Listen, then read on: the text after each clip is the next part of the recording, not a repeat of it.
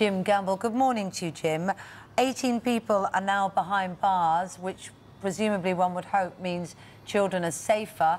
Is it worth it then?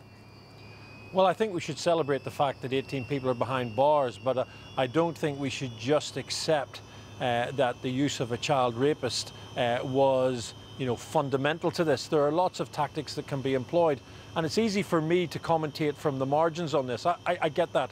I've run informants in counter-terrorism and in, in organised crime. It's complex, but using a child rapist, I can't imagine uh, the circumstances where I feel you could satisfy the test of legality, proportionality, uh, and necessity uh, for that. And the risks and the control measures around it, well, I just don't see how uh, you could have operated tight enough control to ensure that an informant of this character wouldn't have used what they saw as a, an umbrella of protection uh, to facilitate their own offending or inappropriate engagement with young people. Well, I mean, as we've said, and as you've said, police say categorically that dangerous men wouldn't be behind bars without the help of this informant. They believe that they had no other option. Um, so they're sort of suggesting that actually they had to cross the line or they had to go to a very dark place to get somebody in order to facilitate the, uh, the imprisonment of 18 or the convictions of 18 uh, very dangerous people, Jim. And I think we need to we need to scrutinise that because this tactic is so lawfully audacious. It doesn't just go up to the line in the minds of many; it, it goes across it.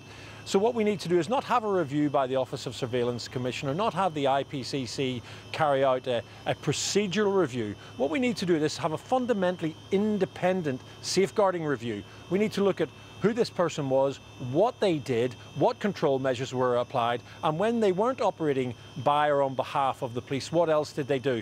And, and I know the, the Police and Crime Commissioner, Vera Baird, up there extremely well, and I would ask her, you know, for the sake of public confidence in the competence of this tactic, to instigate that type of transparent review because it's if we're going to use this tactic, if this tactic has indeed been successful, if they have been able to control this informant, which I very much doubt, then let, let's learn lessons from it. And the only way you can do that is by having an open and transparent review, not the, the, the simple rhetoric that says the end justifies the means, yeah, because whose uh, daughter Jim, can be sacrificed in that? Jim, you, you describe it as lawfully audacious. Uh, and, and, let's face it, the people that have, uh, have, now been found guilty are becoming more and more audacious in the way they manipulate and they take advantage of vulnerable young people, girls and boys as well. So surely, actually, the argument would be you have to fight fire with fire.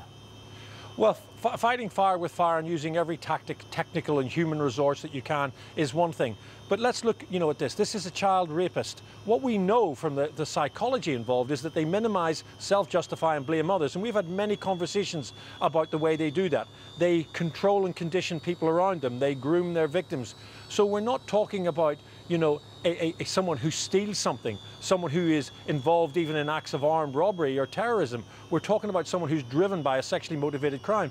And what about the victim that this informant raped? What about the survivor of that horrendous event and how they're feeling today? Well, so we can talk in these terms, but other people's daughters, other people's you know, sons, other people's relatives are being put in the line of fire when someone like this feels that they have the protection provided by being a police informant. And all I'm saying is the devil will be in the detail, detail. Steve Ashman and others will have that detail.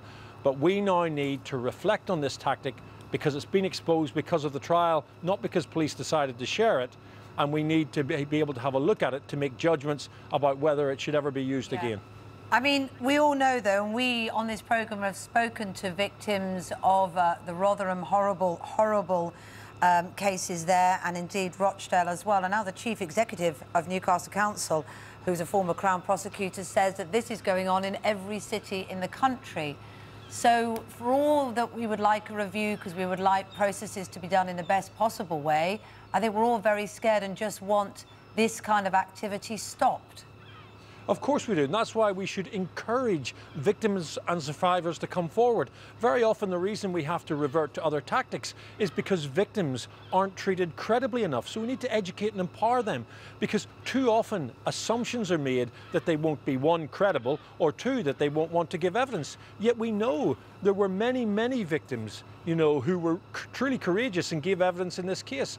That's the type of evidence that identifies the people who are involved and actually holds them to account.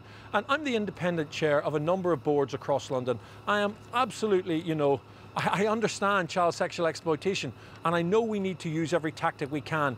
But in, engaging and empowering a child rapist in this way is so high risk, we need to reflect on it. And I don't accept, with all due respect, uh, that this person was pivotal. He has given no evidence in any of the cases. And when you read the transcript uh, of the trial where the judge looked at his conduct, of course, she said universally, he's a liar. He's someone who can't be believed. Well, actually, that person doesn't just lie. Uh, to those around them to infiltrate a group. He lies and manipulates with the police as well. That's the nature of this type of informant. Okay. So very interesting, Jim. Good to talk to you this morning. That's Jim Gamble, Child Exploitation Online Protection Centre, the former head of that group. Good to talk to you.